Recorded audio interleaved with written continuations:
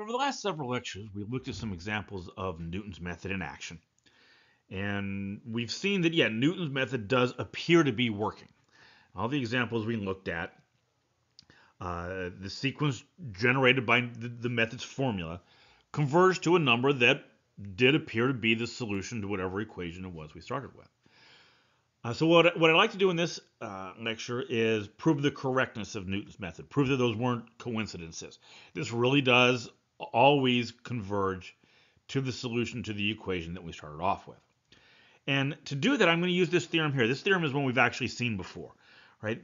Back when we were talking about uh, iterative methods in general, we proved this theorem that said that if certain criterion, certain criteria are met, the, the box criterion here, and this bound on the derivative, then the sequence that we generated converged uh, to the fixed point of the function that we were iterating. And in our case, that fixed point is going to be a solution to the equation that we started with. And we'll, we'll see that as we go along here. All right, so fundamentally, Newton's method is an iterative method. And you see I've written it that way down here at the very bottom of the slide.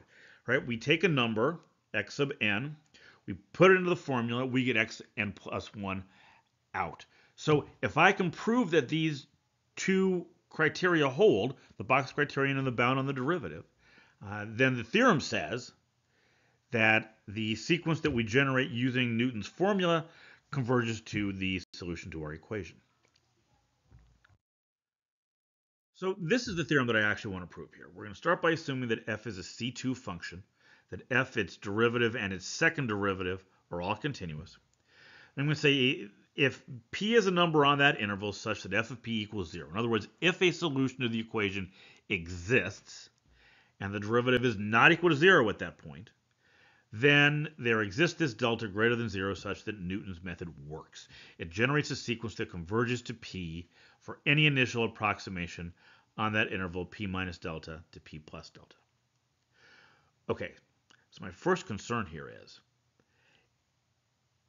is the can I can I even be sure that this Newton's method formula is defined on some interval around p? Because an f prime of x in the denominator part is concerning.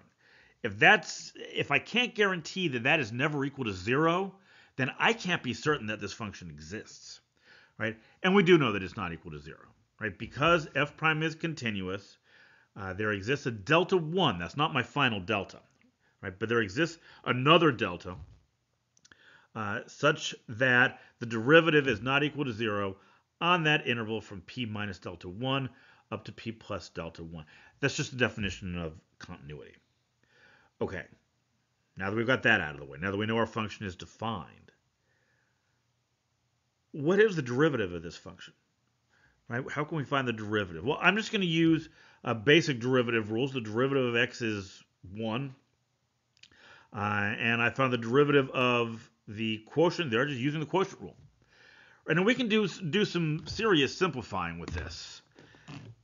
Because if, if we split up the fraction, this is just f prime squared. So if we split the fraction, this part is going to be 1. 1 minus 1 is 0. And all that's going to be left is this part. And so that's our derivative. Now, first, uh, just to be clear, this, this g prime is continuous, right? Uh, because f itself is c2, f, f prime and f double prime are all continuous functions. So any anything that's um, a, a, product or, or quotient of those functions is also going to be continuous. Right, so hold on to that because we're going to need to know that g prime is continuous in just a minute. So now I, I want to take this g prime function and I want to evaluate it at p. Right, so if I do that, I get this expression, and this is equal to 0. Because remember, one of our initial assumptions up here was that f of p is equal to 0, which means this factor is equal to 0, so the whole thing must be equal to 0. And that's what I needed. All right, that's what I needed. Because g prime is continuous, right? You remember how you showed continuity way back in first semester calculus. It was essentially a limit question, right? You showed that the limit of the function was equal to the function value. And you did that by saying, well, for every epsilon neighborhood of the function value, there exists a delta neighborhood around the x value such that everything in that delta neighborhood got mapped into the epsilon neighborhood. Well, instead of epsilon, I'm going to say k. Right? So what this what what I have now is for any k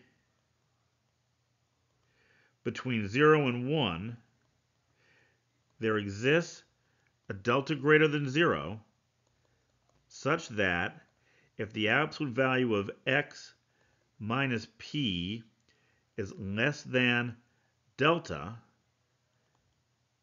then the absolute value of g prime of x minus g prime of p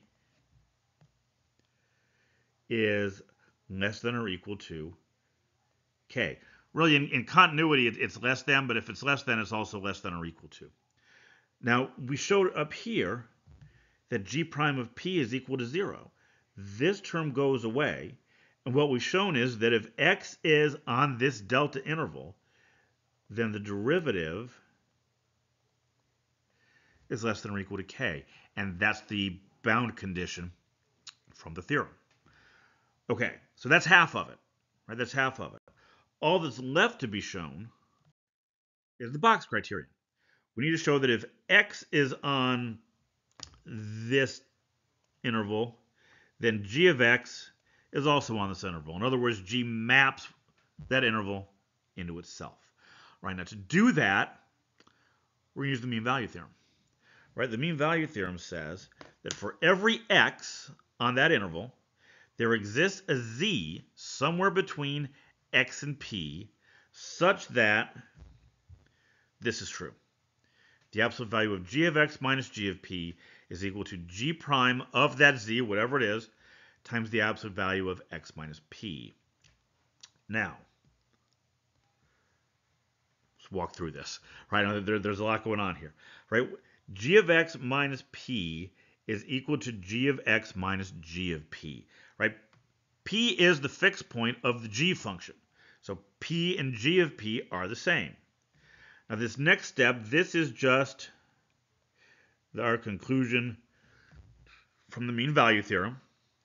And to get to the inequality, I'm going to use that, that bound that we found on the previous slide. I'm going to replace g prime of z with the bigger value, k, and that's where this becomes less than or equal. Now, remember, k is strictly less than 1, which means if I replace k with 1, the result gets even bigger. And my assumption was that x is on this interval. Well, if x is on that interval, that's another way of saying the distance from x to p is less than delta. Okay, ignore all the stuff in the middle. All right, ignore all the stuff in the middle and just focus on the ends. The absolute value of g of x minus p is less than delta. That's just another way of saying that g of x is on the interval from p minus delta up to p, delta, uh, p plus delta. And that's what I need to show. If x is on this interval, then g of x is also on this interval. That's the box criteria. Okay, so since we've shown both criteria of the theorem, the conclusion of the theorem must be true. And the theorem says that this sequence that we generate must converge to P. And remember, our initial assumption was that f of P equals 0. In other words, P is a solution of the equation. So as a practical matter, finding a, a, value of delta for a specific function uh, isn't something we're really going to be able to do. So this theorem is, is important from the theory of Newton's method, the theory of fixed point iterations, uh, because it, it tells us that the sequence is going to converge for some values. as a practical matter, you're going to start off probably using some kind of graphical solution to get uh, some idea of, of, where the root is. You're gonna you're gonna pick an initial approximation. You're just gonna see what happens. Uh, it usually only takes a few passes uh, through the method to see whether or not your sequence is converging. Uh, if it is, great, you're home free. If it isn't, you, you go back and just pick something else, try to get a little closer. So in the next lecture, uh, we're going to wrap up our kind of theoretical conversation about Newton's method uh, by taking a look at its convert at its order of convergence, uh, and we're going to get some good news to offset the bad news that we got when we were talking about iterative methods in general. We're going to see that in the case of Newton's method, uh, we will quite often get the kind of quadratic convergence that we really want to get from our iterative methods.